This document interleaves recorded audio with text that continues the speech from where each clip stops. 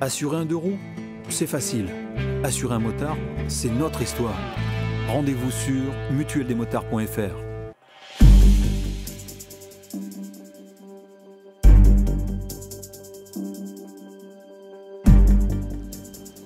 Bon alors juste à côté du stand KTM, on arrive forcément sur le stand Husqvarna. Husqvarna c'est quoi? C'est un petit peu le segment heritage de la marque autrichienne.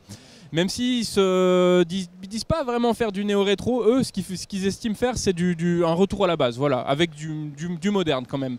Et du coup qu'est-ce que ça donne? Bah, Ça donne euh, une 690 Duke qui a été complètement transformée. On reconnaît quand même euh, le châssis en treillis tubulaire, le monocylindre euh, qui fait 75 chevaux. Alors c'est le tout dernier, hein, c'est celui qui a le balancier d'équilibrage tout en haut dans la culasse, donc une moto qui vibre assez peu. Alors après, même code pour ce qui est du cadre, donc elle, est aussi la fourche WP inversée, le gros, le gros Bembo, alors simple disque.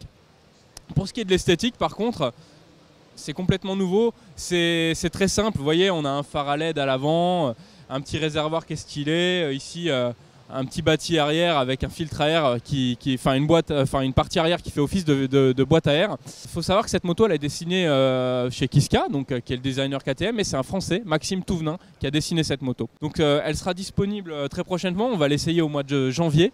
le tarif sera d'environ 9 990 euros. Et juste après, il y aura une nouvelle variante, pas la Vite Pilon, la Svart Pilon qui est juste derrière moi. Je vais vous la montrer.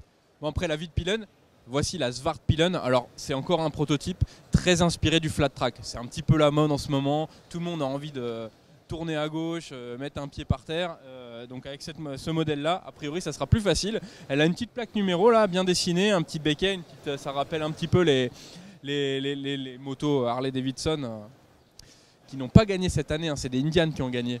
Voilà, bon réservoir pareil, la selle à peu près pareil. Euh, une petite plaque phare, un petit peu euh, plaque numéro. Voilà. Bon, on espère que ça sera à peu près sensiblement la même machine. Ça devrait être disponible dans un an. Voilà pour donc la, la Svartpilen.